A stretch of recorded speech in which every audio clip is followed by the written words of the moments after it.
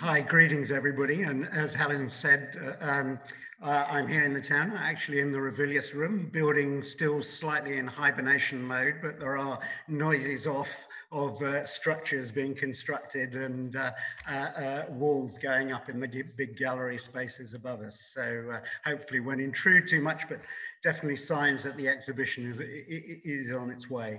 I'm going to just talk through sort of four, four aspects. I want to give you a quick thumbnail sketch about John Nash as a person, as an artist, for those of you who aren't totally familiar with him, uh, and then talk about three aspects of that triangle between his sort of artistic impulse, his mental well-being, and the landscape.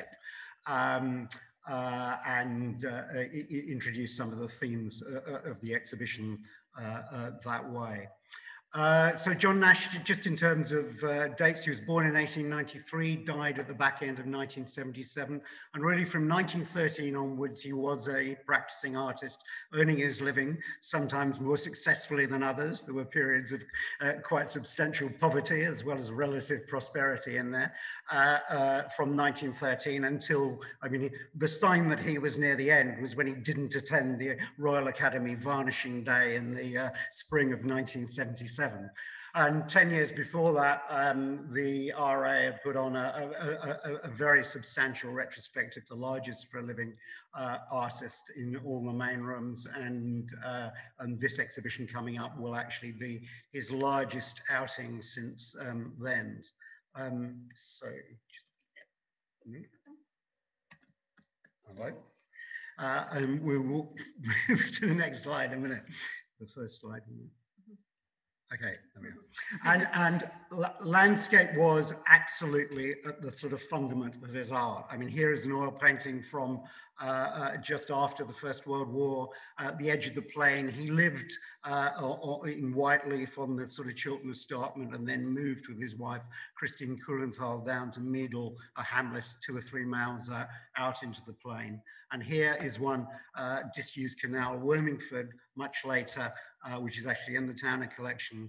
Um, but uh, and, again near his home, his post-war home with um, Christine Nash, which was Bottengoms uh, in the Stour Valley in Constable country, which he didn't consider a sucked orange because he he he, he felt uh, there, were, there was much local inspiration there, and in fact. It's a feature of Nash's art that uh, fully 50% of his work across all media can be, the location of it can be found within walking distance or in the pre pre-Second World War period, a short bike ride, or in the post-Second War World War period, a, a, short car ride from his two main homes, uh, and perhaps even an even larger uh, um, proportion of his best art. And landscape is sort of at the fundament of his art, whether it is in oil painting or in line drawing, who's a prolific illustrator, illustrated over 100, 100 books, uh, or in, indeed in wood engraving, very early member of the Society of Wood Engravers, or the Bewick Society as it was uh, when it first elected him uh, uh, at its first meeting. Um, and also in lithography, um, the uh, valley here, the Stour Valley uh, uh, here, an autolithograph which was part of the Contemporary Lithographs series that was organized by Piper and Robert Wellington and Barnett Freedman and, and Harold Curwen at the Curwen Press in, in, in the late 30s. So landscape and it was always for him the sort of uh, the, the founding block of mu uh, much activity. And in fact, he wrote to, to um, Dora Carrington in 1915, very early on when he was sort of just emerging, uh, uh, had emerged onto the London art scene. He, she was a, a good friend, an unrequited passion of his. Um, uh, uh and he said,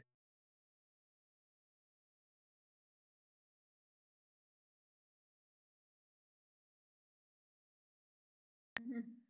Hello? Have I been muted? no, How? you haven't been all the time. No. right. uh, so he, he wrote it to Dora Carrington from Gloucester. The, the farmyards here are so good. I think I shall do farmyard scenes for the rest of my natural. I'm convinced now, even more than formerly, that a strict adherence to nature is the only thing worth doing, even at the risk of being dull. How can nature be dull? What is cubism or anything else to nature? So there was this sense in which uh, observation of nature rather than uh, uh, reacting to changes in, in the artistic scene itself uh, was what really preoccupied him. He was also a great comic artist, and I'll come back to the origins of that later. But this you, here, I think you can see the the uh, uh, an early comic drawing before he knew he really wanted to be an artist. Very influenced by Edward Lear, influenced by Edward Lear because his great aunt Gussie uh, was um, an unrequited passion of Edward Lear's uh, over 20 years. And in fact, she accumulated quite a lot of Edward Lear's work in her house where John Nash as a small child would, would have seen it. It's not moving on. Sorry, we're having this difficulty moving the slides on. Um, And here, here we have, and John, I said John Nash had just emerged. He really emerged onto the London art scene almost fully fledged, untrained at an art college, when he and brother Paul had what would be called in these days a pop-up exhibition in an upscale lampshade shop uh, near South Kensington Tube, the Dorien Leigh shop. And uh, his work struck people who visited it as having enormous freshness, and a lot of it sold from this exhibition. Um, uh, partly, I think, due because of William Rothenstein, cultural man about town, uh, not yet the principal of the Royal College of Art, but the sort of Alan Yentob of his day, who brought along uh, a number of collectors, Edward Marsh, um, Michael Sadler, uh, the owner of the Carfax Gallery, etc., to the exhibition, uh, who, who bought quite a bit of the work, and that gave Nash some funds for the first time. He'd been doing a sort of uh, internship on a local paper up to then. Uh, but even more importantly, Spencer Gore came along. Spencer Gore, one of the great diplomats of the quite fractious London art scene of 1913, uh, about to become the founding president of the uh, uh, um, of the, the, the, London group. And he immediately got John Nash involved in exhibitions in Brighton, Leeds, uh, uh, and in Whitechapel within the next few months, which gave him the funds to be able to go off just before the war broke out, the cataclysm of the First World War, to Italy. And he did this after he got back. But it gives a good sense of the sort of freshness and also why, in a, in a way, despite all the oils, the wood engravings, which are marvelous and so on, uh, actually his landscape drawings, uh, colored and tinted landscape drawings are a, a, a real high point of, of, of, his sort of oeuvre. I mentioned the war. This is him uh, three years later. He's just returned from 15 months um, in uh, the trenches on the bottom rungs of the British Army as a private and a corporal a pr pretty devastating experience. And I think you can see in his demeanor, his downcast eyes, some of that. Nevinson, about the time this photograph was taken, met him at a dinner party and he said, John Nash is back. He's, he's I paraphrase here, but he's completely uh, shell shocked and he's, he's behaving like an automaton as if he was used to dining with intellectuals every night, but he's had a terrible time in the trenches. And um, if this was uh, taken at a time of maximum insecurity for Nash, he'd been with, he'd finally got home leave after 15 months uh, on the bottom rungs of the uh, British Expeditionary Force uh, where he said he'd become calloused. He'd got used to eating his bully beef among um, uh, uh, uh, uh corpses, and he was about to be appointed a war artist on a six-month contract. And shortly after this, because he was appointed a war artist and given an honorary commission, he was able to marry Christine Kühlenthal, who he'd become engaged to just before getting going off to France, and, and a few weeks later moved into a disused herb shed in Buckinghamshire, where from his memory, he had to recreate his wartime experience. Brother Paul, who'd been an officer and allowed to draw and had been sent out as an official war artist with a chauffeur, a cook, and a batman to tour the battlefields, had come back with 80 sketches and drawings, some of which had been on display at the Leicester Gallery. John Nash was forbidden to draw while he was in, in France. So all he had was a few notations on the side of a couple of letters that he'd sent back to Christine. And here we have uh, and his, his art is very much the way stations of his own military experience. And the, the experience of route marches comes out from his letters. And if you compare this to, say, a work by Nevinson returning to the trenches, where the message is these human beings fused into the machinery of war, losing their individuality, for him, this kind of fresco-like concentration. Uh, you, you get the sense of the individuals trapped in their experience, the sense of isolation between them. So very different from the Nevinson or something like Paul Nash's Men Marching at Night, which really has a message that in the darkness and confusion of war, you can't distinguish the individual from the mass. Nash's art, naive in some senses, fresco-like in others, is different. I won't go through all his war art, but three months later, he was recreating this experience, which is uh, um, a, a, picture that immediately struck those who, who'd been in France when they saw it in 1919 at the big exhibition of the nation's war art as being authentic. It relates to mid-morning on the 30th uh, of December 1917 in Marcoing, part of the Battle of Cambrai, uh, the unit Nash was a section leader of, he'd become a corporal by then, 14 men he led that morning.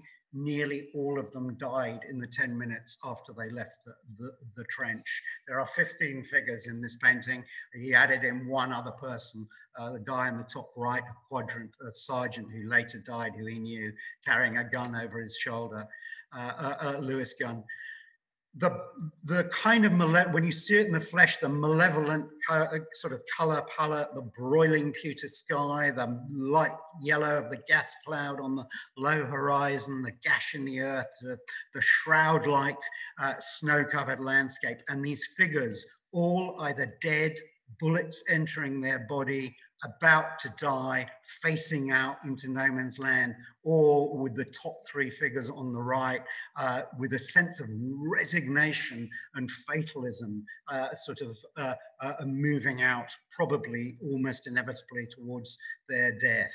Um, it was seared on his mind. The preliminary studies are fascinating for this. He does three drawings, really worked up drawings, and they're all about just adjusting the sense of fatality in those three figures moving forward and the young man uh, looking out uh, uh, um, uh, in the foreground or, or on the right hand side. But an enormous, an act of purging almost the emotion that was involved, the shock that was involved for him there. But what is extraordinary is that while he was painting that, he was also painting this. And the background to that is that um, uh, they had uh, a rule, Paul and John, uh, Paul working on the Menin Road at the other end of the shed. Um, uh, they had a rule that they had, to, because they were under contract to the Ministry of Information, they couldn't do any of their own work. But after a while, it became too much, and they decided that they would, after six in the evening, go out into the landscape and do stuff that wasn't for the ministry. And if you go to where the herb shed was and walk about 500 yards, from uh, its uh, where, where its back door was, um, you are in this field, the Dell field. It looks on a summer's evening almost exactly the same, the sun streaming through the gap in the tree line. I won't go on about it, but it's a marvelous occasion and there are tales to tell about it. He was also briefly an artist in the Second World War, but interestingly appointed for six months. By three months, he wanted to stop the role. Uh, he didn't like being a spectator. His art. Um, he began more many things than he finished. He was attached to the Royal Navy. Um, uh, this was done at Plymouth. He, and interestingly, the only painting that really comes near the intensity of what he did in the First World War uh, is this one, A Dockyard Fire, when he got caught by accident in a bombing raid at Swansea Docks and became involved in the firefighting. And like Over the Top, he did this back at Meadle after he'd uh, uh, uh, uh left the docks. Um, but uh, um, so that was him as a war artist and in a sense purging his emotion and part of that to do with the landscape. I now want to talk about his childhood a, a bit. Here he is, John with his younger sister Barbara, about 1901. Um, family background, father, not particularly successful barrister, never became a QC, was a revising barrister, which is somebody sent out to check the electoral rolls. It was the Edwardian equivalent of voter suppression to throw people off who didn't have the right pro uh, property qualification. Um, and uh, the family finances always strained, but particularly strained after the birth of Barbara, his younger sister, when his mother, Caroline, became quite depressive, something that then became far worse over the succeeding years. A couple of years after this photograph was taken, she attacked John with a butcher's knife, and that became the trigger event for her to really disappear into the world of nursing homes and private sanatoria. And his letters to her and indeed from Wellington, where he went paid for by a relative for a couple of years. Wellington, the school known for its sort of sadistic culture and military enthusiasms. He wasn't particularly happy. He got into botany, but he used to, he started his art was really doing these little cartoons to amuse, to escape on in his uh, uh, um, letters. The other great passion for him, so again self-taught, was music. Uh, and here is he and Christine. Unfortunately, I could never find a photograph of them playing a duet together, but that is something they did nearly every day. They were together at uh, Meadle in the interwar years. Um, uh, but he taught himself uh, um, uh, uh, music.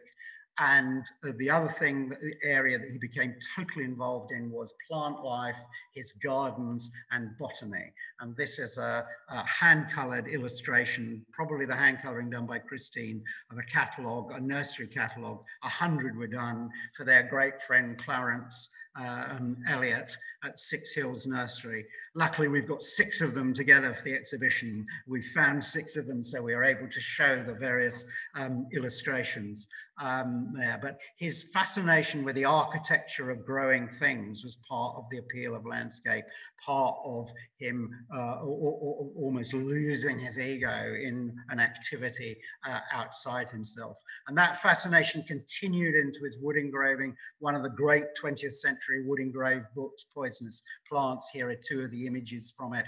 If you come to the exhibition, you will go in through the town Townend's glass doors of the main gallery and you will be walking through a blow up of the deadly nightshade, but there you will see all the images inside as well. And that continued into lithography. Here's an autolithograph done um, uh, for, in signature, four stones done at the Baynard presses as an advertisement for the press in 1939 he'd begun to learn lithography in um, uh, Helen I will speed up. Um, uh, he'd begun to uh, learn lithography in 1936 and the day he was first trying to do work on this uh, image for contemporary lithographs, he wrote in his diary, the anniversary of the worst day of my life, I am glad to be working hard trying to forget.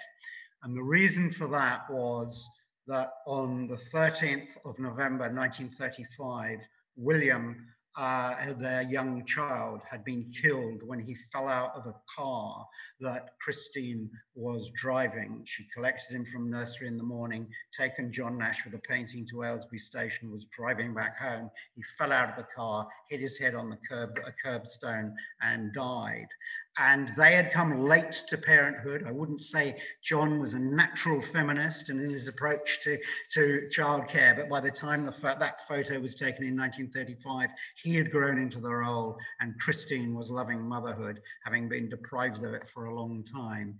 And that introduced an enormous note of sadness and undertow of pain into many of their days. And it also introduced a new note into of almost melancholy into many of Nash's best landscapes. Here he is right at the end of the war, the Second World War, an early work when they went to um, live at their new house, Bottengoms, where they lived for the for the rest of their lives. But, and there is a way in which the snow-covered landscape had enormous resonance for him I think both because it brought out the structure that he was so interested in, the sort of sprung bones between the landscape and highlighted features, but also because emotionally it related back to the two nights before Over the Top, the Battle of Marcoing. Over the top was the, I think, uh, sorry, the French highway, the marching one was the first oil he did in the herb shed. Uh, this was, I think, the first thing he did in the herb shed, uh, which was a little recreation of um, those nights when he was out with three comrades uh, in advance of the front lines before that battle in which most of those people got killed. Um, and there's a shroud-like nature of the landscape of many, many of his snow scenes comes, I think, um, uh, from that. But interestingly, also the resilience, and I'll just show you some other winter landscapes, which you will see. You will see all these things in the exhibition if you come, uh, which just give you a sense of some of that response to landscape, and particularly winter landscapes he had. Um, and I was going to talk through these at greater length, but I haven't got time, so I won't. But uh, um, uh, the, the, these are uh, a, a, kind of prominent feature. But I just want to land up by contrasting Paul's worldview and, uh, uh, and John's, because Paul obviously better known. After that pop-up exhibition, um, Walter Sickert wrote a, a, year later, the brothers Nasherall was interesting. Paul with his head where a poet should be in the clouds, and John like a child a painter should be, putting his hand in his mouth to tell us what he has seen in the field or on the farm that afternoon. And he was a fantastic observer of nature. His days were spent in the landscape, observing the nooks and crannies of the landscapes in which he was able to move and visit. We haven't talked about the wider panorama of the British landscape uh, he, he, he created. But also there was a sense in which his faith in nature as a source of sanity um, it comes out in the contrast between Paul's great wall painting, which was being created at one end of this abandoned herb shed, uh, and which he saw as uh, he said, you know, I want to burn their lousy souls. The, the world has turned evil. This is the fifth ring of hell. Um, and, the, and I am going to bring this out in how I depict the landscape of Passchendaele and, uh, and Flanders. This, by contrast, was what John was doing as his monumental painting for the war artist scheme at the other end. He picked the time of day that was the calmest in the trenches. This is where he first went into the trenches. Yes, there is the devastation, the man-made devastation, the shells exploding on the landscape going away towards the horizon. But just look at the sky, the sense of there's some celestial music there, there, you know, the, the of a uh, maybe a, a, um, a, removed order, but a natural order that is not capable of being destroyed by uh, uh the faults of man and, and, and, the madness of the war um, uh, below. And indeed, just flipping back to very final comment to this one, he wrote a letter from this from this this uh, shell hole, his last letter to Christine um, uh, from France. Christine, who we haven't had time to talk about, but we should at some point. Um, he, wrote, he, wrote, the uh, letter to France and he said, uh, uh, I'm frozen, my fingers are numb. In between the sound of the machine guns, I can hear the chirping of partridges. And that, in a sense, was his faith in the natural order, his ability to get away from the troubles of his family, the tragedies in his life, sudden death crossed their lives many times that I haven't mentioned this morning, but uh, th that faith, the resilience, his sense of well-being being reinforced by able to being a, an artist observing nature, I think comes through loud and clear from what is a fascinating life story and a fascinating relationship with Christine, um, which uh, um, uh, maybe some of you will catch up with either through the book or the exhibition, which we haven't got time to talk about today. so thank you very much for your attention.